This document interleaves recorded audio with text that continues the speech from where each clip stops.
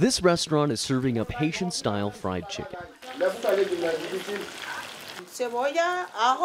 A little onion, garlic, pepper, always delicious.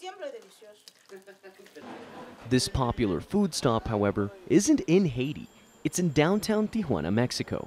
Llega a comer aquí. Many Mexicans come here to eat every day, and also many Americans come to buy food as well. There are thousands of Haitian nationals in Tijuana.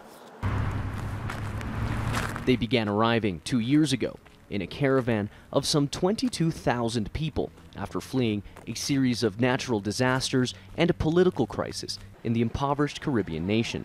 Denied entry into the United States, many settled just south of the border.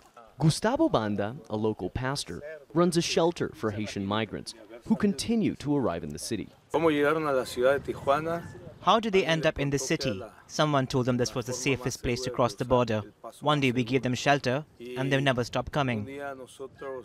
This mountainside barrio is usually a first stop for new arrivals. It's known around town as Little Haiti. Yet only a small portion of the local Creole speaking community actually resides here. A majority of Haitians here are dispersed across the city, where many have given up trying to enter the United States and have either enrolled in universities or started their own businesses. With nowhere else to go, the Haitian community in Tijuana now consists of around 4,000 people. Despite the success many Haitian migrants have found, young people like Wilfred Jean Louis say it's an everyday struggle. Sí, hay solamente hay que pensar.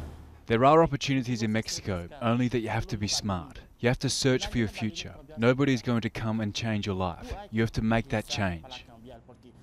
Many locals laud the way the Haitian community has assimilated to life in Tijuana, adding that it serves as a model for other migrants arriving in the city.